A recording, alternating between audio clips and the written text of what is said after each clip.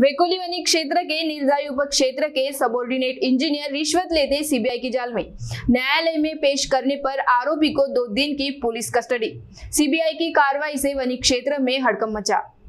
वेकोली वनी क्षेत्र के नीलजय सवेरिया के सबोर्डिनेट इंजीनियर गणेश वाघमारे को रिश्वत लेने के मामले में सीबीआई की टीम ने रंगे हाथ गिरफ़्तार किया।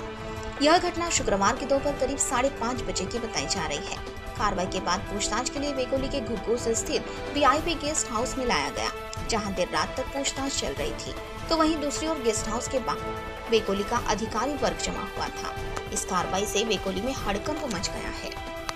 सूत्रों से प्राप्त जानकारी के अनुसार सिविल ठेकेदार ने नीलजई उपक्षेत्र अंतर्गत निर्माण किया था, जिसका एक लाख अट्ठानबे हज़ार नौ सौ और एक लाख अट्ठानबे हज़ार एक सौ तिरासी ऐसे दो बिल मंजूर करने के लिए वाघमारे नामक सबॉर्डिनेट इंजीनियर ने चौदह हज़ार की मांग की थी। समझौते के अंत में दस हज़ार तय हुआ, परंतु रिश्वत देने की ठेकेदार की इच्छा न रहने से उन्होंने सीबीआई में शिकायत की। जिसके बाद शुक्रवार को दोपहर करीब साढ़े पाँच बजे कार्रवाई करते हुए सीबीआई की टीम ने सबोर्डिनेट इंजीनियर को सुंदर नगर फ़िल्टर प्लांट परिसर में रंगे हाथ पकड़ा।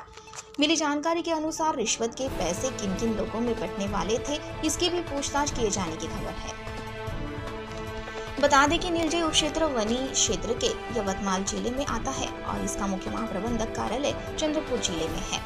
उक्त कार्रवाई सीबीआई के डीआईजी एमएस खान इनके मार्गदर्शन में जीवाईएसपी संदीप चौगले इनके नेतृत्व में जीवाईएसपी नीरज गुप्ता, पुलिस निरीक्षक Vinay Kumar, head constable J K Khan, Patel Khujur के फासनिक टर्टे आदि कर्मचारियों ने की। आगे की जाँच डीवाईएसपी नीरज गुप्ता कर रहे हैं।